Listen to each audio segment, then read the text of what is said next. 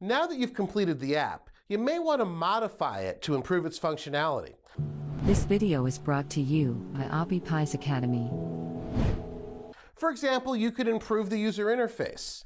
Maybe you want to add a drop-down to describe the weather during the run and store that information in the database too.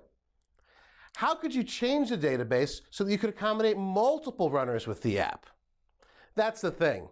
A good developer is almost never done.